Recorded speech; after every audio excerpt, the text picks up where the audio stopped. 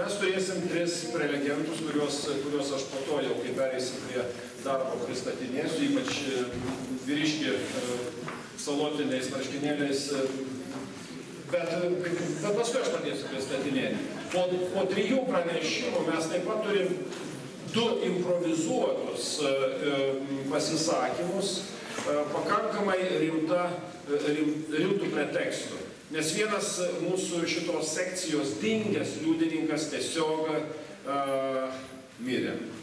Dingęs liudininkas tai yra Dalės Rogaitė ir jinai buvo artima su Nika Niliūnu ir jos epizodas įrašytas, bent jau garsas turėjo čia skambėti. Dabar mes turėsim jau apie Dalės Rogaitę ir jos prisimenamus prisiminimus. Du pasisakymus Irenos Veisaitės ir Dalios Kuizinienės. Tai skaičiuokime šitą.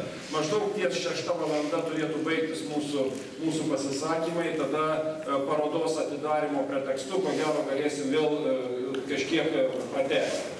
Parodos atidarimas, sakau, taip apie, še, apie, apie šeštą valandą, nes mes turim dirbti iki pusės septynių. Bet tas, tas pusę valandos, įsivaizduokit, kad ganėtinai sunku bus valdyti ir jeigu kartais aš būsiu visiškai ne, neįgalus, tai atleiskit man už tai. Pri, pristatysiu užstalės kalbėtojus. E, tikriausiai reikėtų pradėti nuo daktarės Giedrės Šmitienės. Jos pranešimas bus, norėčiau, kad mūsų gyventume šiaurėje. E, kodėl? Todėl, kad jinai, kaip Algis Mickūnas prisipažino, yra jojo dukrytė. Visos dukrytės tiesiog dirbusios Algio konsultuojamos įgyja tokią teisę, tokį pavadinimą. Kadangi aš tik tai dvi dukras turiu, tai man visą laiką darydavo įspūdį, kaip, kaip Algis turi tiek daug dukryčių, anūkių. Bet gal čia ir jo jaunystės paslaptis dabar. Algis Mickūnas, filosofas, liudininkas, nuotikininkas, kuris gali savo mąstytojo patirtį pritaikyti Nykos Niliūno aiškinimui, supratimui. Ir Arūnas Verdiolas, kuris taip pat yra filosofas, laiks nuo laiko įnyrantis į istorijos, literatūros ir kitokias nedisciplinuotas plotmes, ko gero truputėlį primindamas mums visiems kavolio gebėjimą būnant sociologų, socialinių mąstytojų, artėti prie literatūrinių tekstų, džiaugiantis gerais tekstais ir dar, dar kartais džiaugiantis labai blogais tekstais.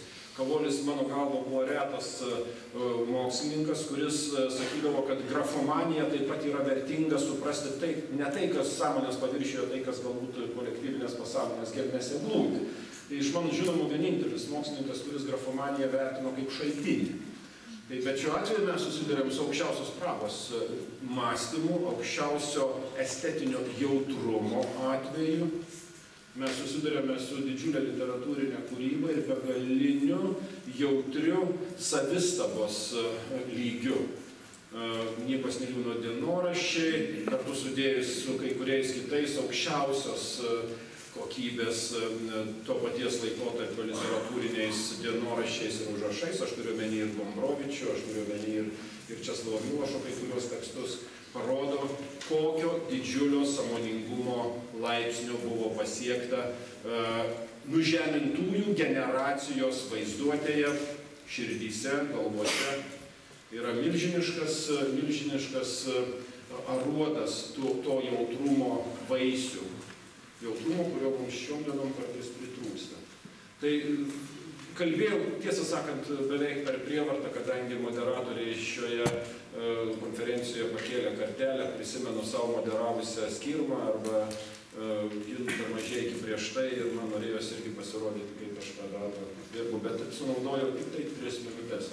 Laikas yra e, dėdėjai Algiui, Mickūnui, laiką jisai žino, mes visi susitarėm daug maž apie 40 minučių, tai yra kiekvienam, kiekvienam pranešimui, o po to laikysimės tradicijos trumpesni klausimai ir galbūt diskusija nu, nu, nu, nu, į pačią parodos atidarimo pradžią nukelsti. Gerai, prašau. Galime čia.